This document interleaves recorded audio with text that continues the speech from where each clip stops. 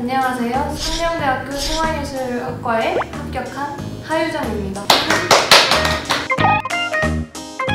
사실 아직 잘 실감이 안 나는데 가장 가고 싶었던 학교에 붙게 돼서 정말 기쁩니다. 되게 조용하고 그리고 실기대회 때랑 같은 강의실에서 봐서 그런지 저는 긴장을 조금 덜하고 봐서 되게 괜찮았던 것 같아요.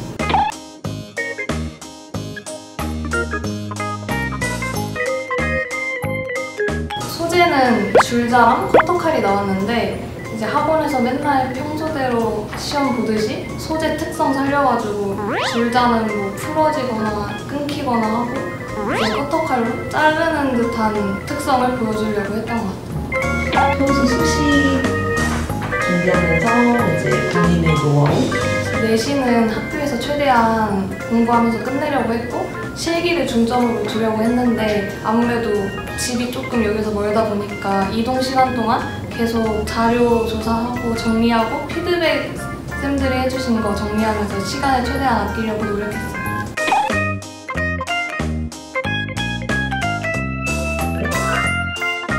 항상 물체 간의 명도 대비랑 이제 색을 쨍하게 쓰는 거랑 고3이다 보니까 스피드가 되게 중요한 것 같아서 그 세 가지를 좀 중점으로 두고 실기를 준비했었습니다.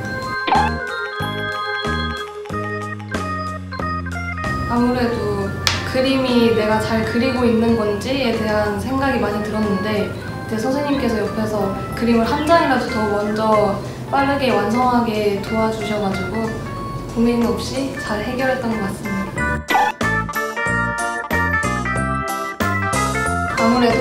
효정쌤이랑 예비반 때부터 같이 해서 효정쌤이 저의 부족한 점을 잘 알고 계셔가지고 그거에 대한 보완점을 가르쳐 주셔서 좋았고 효정쌤이 항상 포기하지 않으시고 열심히 가르쳐 주는 게 장점이라 생각합니다.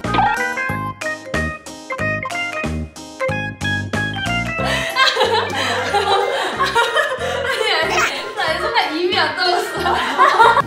소재 간의 특성을 살려가지고 반응을 최대한 많이 넣어서 구도를 짜보게 했던 수업이 가장 좋았던 것 같습니다.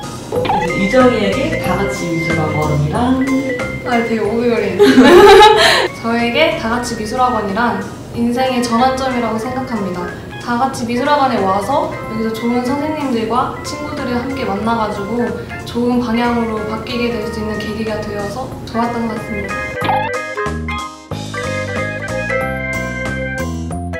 같이 유튜브 많이 보는데 그 중에서 초반에 가장 많이 봤던 명희비가 아마 제일 기억에 남고 거기 안에서 이제 효정쌤이 기본기에 대해서 차근차근히 알려주는 영상이 있어가지고 좋았던 것 같습니다.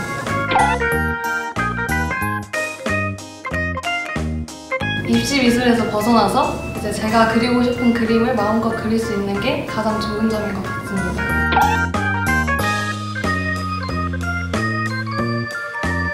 저는 가구 쪽도 해보고 싶었고 인테리어랑 그리고 일러스트 쪽도 하고 싶어서 대학교에 가서 더 배우고 싶은 마음이 있습니다.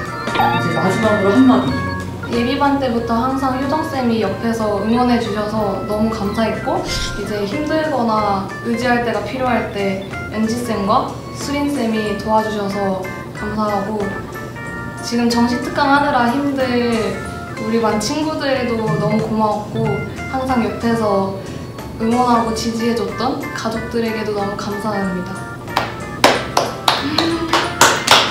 다 같이 화이팅!